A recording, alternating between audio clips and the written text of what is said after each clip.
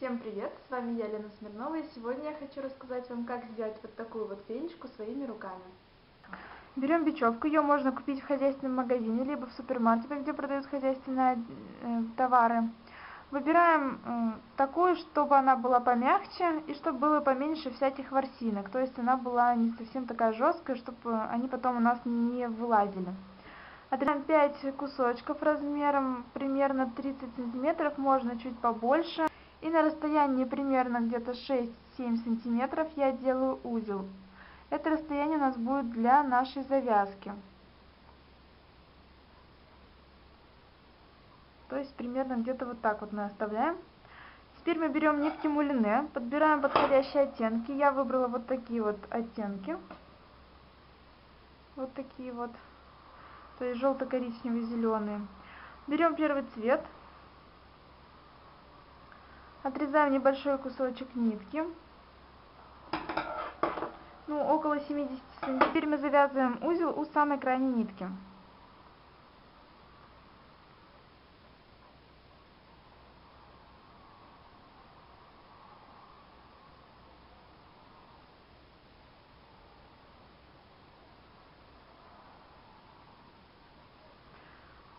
кусочек, кончик, который у нас остался, мы его направляем вот вдоль вот этой нитки, чтобы потом у нас вошел в плетение и его не было видно.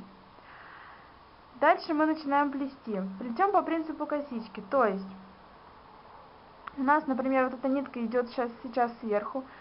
Для следующей нитки мы пропускаем ее через низ, потом опять через верх,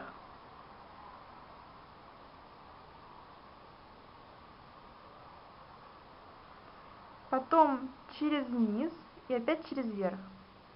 Дальше мы идем точно так же в обратном направлении. То есть теперь она у нас идет снизу, мы пропускаем ее через верх, потом через низ,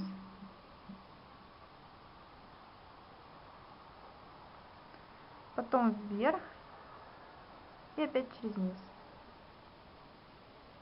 Сначала у нас будет немножко непонятно, потому что у нас пока мало рядов, мы продолжаем делать все дальше, также в таком же порядке. И потом мы ряды просто немного подвинем. Также можно после каждого направления, можно чуть одергивать нитку вверх, чтобы они смещались друг к другу поближе. То есть, например, вот мы сейчас обвили, я чуть-чуть приподнимаю туда наверх. Дальше также обвиваю также приподнимаю наверх. У нас уже стало больше рядов, и у нас э, они немножко подвинулись вверх и стали более плотными. Мы плетем так желтым цветом столько, сколько мы хотим, чтобы у нас желтый цвет был на фенечке. То есть примерно, ну, я планирую полтора сантиметра, может быть два сантиметра желтого цвета. Так, вот на этом месте я сейчас с желтым цветом закончу. Я обматываю два раза, завязываю узелок и отрезаю, но не у самого корня, где я завязала узелок, а чуть пониже, чтобы потом у нас он просто не торчал, а просто влился в наше плетение. Также, например, если вы хотите желтый цвет повторить где-то чуть попозже, вы можете просто эту нитку оставить и потом уже сразу начать, чтобы не привязывать, не отвязывать ее несколько раз. Далее я беру вот такой вот э, немного охристый цвет. Также начинаю, при, привязываю его вот здесь, где я закончила.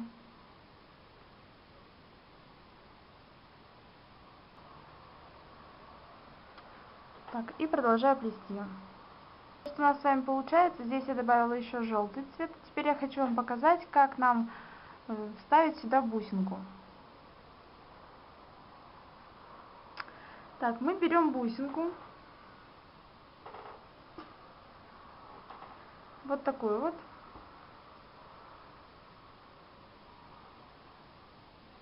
И продеваем ее в среднюю нитку.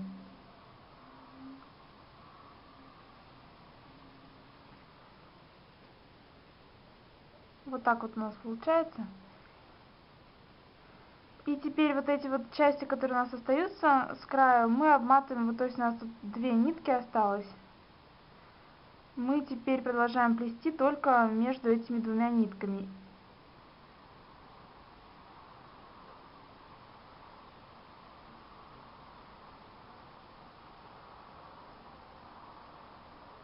Теперь мы продолжаем плести также через 5 ниток.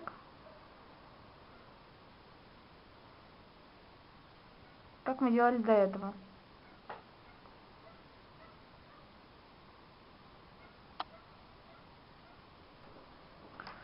Так, теперь дальше мы берем бусину побольше и берем уже три нити из центра и продеваем ее в эту бусину. И теперь обматываем по краям уже одну нить, точно так же, как мы делали здесь. Вот эта большая бусина, это будет центр нашей фенечки, поэтому дальше мы плетем в зеркальном отражении, то есть также у нас будет коричневый цвет, потом желтый, охристый и бледно-желтый. И доплетаем нашу фенечку уже до конца. Мы доплели нашу фенечку, теперь э, в конце я завязала два узелка, двойной узел, и капнула капельку клея и отрезала ниточку. Теперь нам нужно с вами сделать завязку. Мы развязываем наш узел.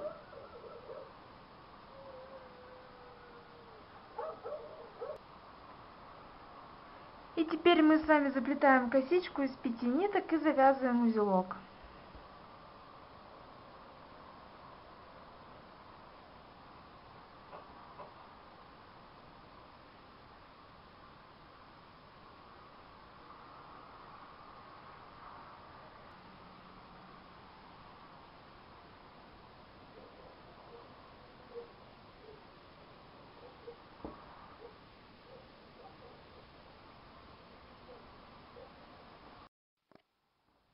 Так, вот такая вот у нас финичка с вами получилась. Теперь нам осталось сделать застежку. Мы берем нитку мулины одного из цветов, которые у нас здесь были. Завязываем узелок.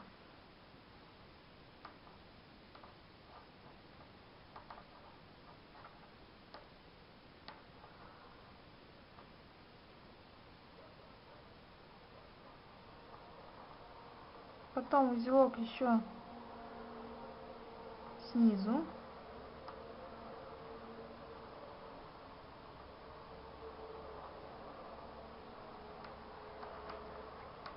Делаем его не очень сильно, нам нужно, чтобы он немножко скользил, но и в то же время был не очень слабым. Теперь мы в технике макраме буквально пару узелков сделаем. То есть мы закидываем петлю сверху, а второй ниткой огибаем как бы снизу вот э, этот кончик, который у нас остался, и через низ просовываем в эту сторону и подтягиваем. Теперь мы делаем то же самое, только уже с этой стороны. То есть петля у нас будет уже с этой стороны. Огибаем вот этой ниткой.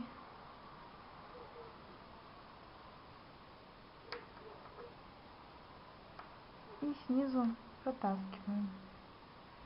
Теперь буквально мы 4 узла таких с вами сделали, затягиваем, завязываем изнутри.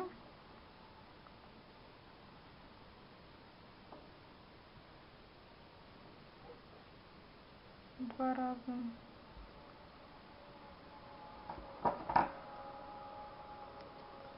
Отстригаем. Можно капнуть туда капельку клея, чтобы закрепить. Он подсохнет, станет прозрачным и уже видно не будет.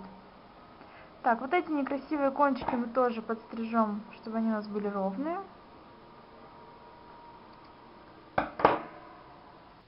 Вот такая фенечка у нас с вами получилась. Если вам понравился мой мастер-класс, пожалуйста, поставьте лайк, рассказывайте друзьям, подписывайтесь на мой канал.